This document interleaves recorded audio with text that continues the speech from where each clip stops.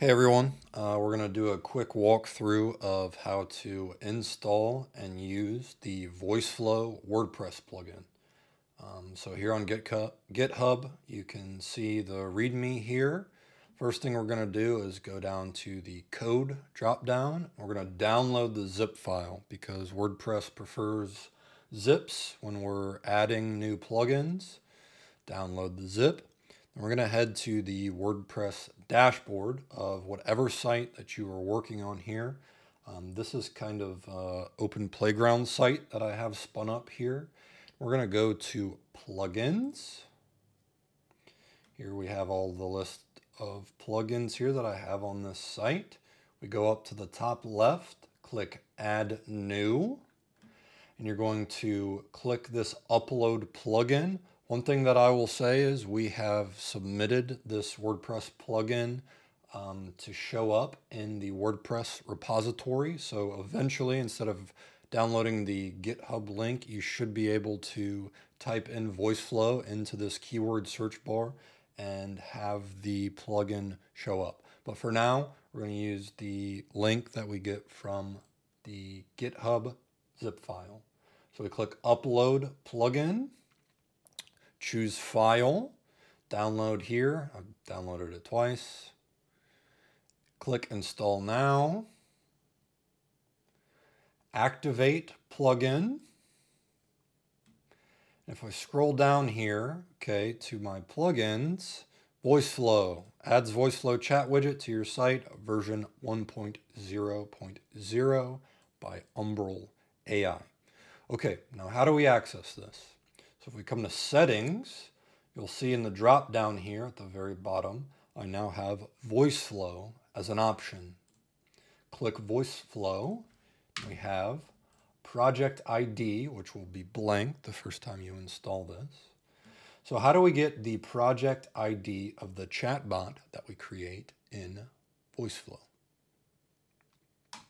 Go to our VoiceFlow dashboard I'm going to open an internal docs bot that I made previously. Wait for it to load. Actually, we might not even have to wait for it to load. Yes, we do. I'm to click refresh here. What's going on? There we go. All right, come down on the left-hand side to settings. Scroll all the way down to the metadata and we have project ID, version ID here. So if we copy this project ID and then come back to our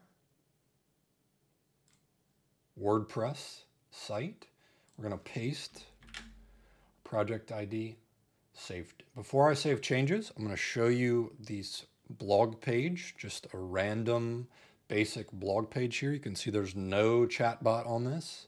This is from the same site.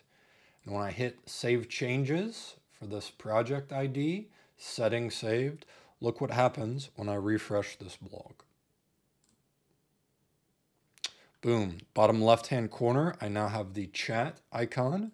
If I click this chat here, I have a internal documentation bot up and going here I can now ask questions. What uniform do I need to wear?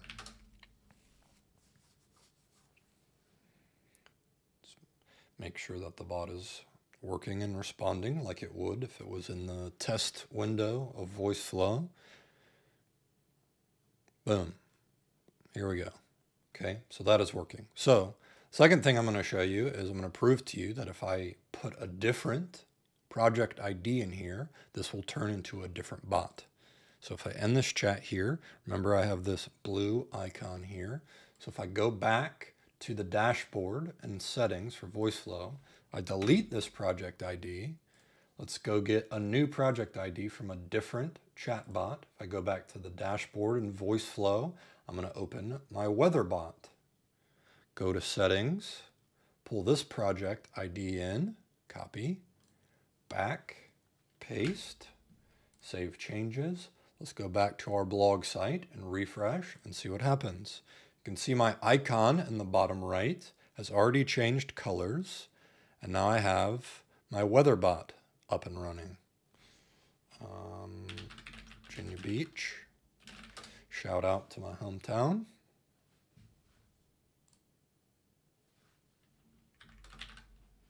Would help to remember what my flow was for the WeatherBot. Boom. There we go. 57 degrees. That's accurate. Sunny. So this is how you use the VoiceFlow WordPress plugin. Thanks for watching.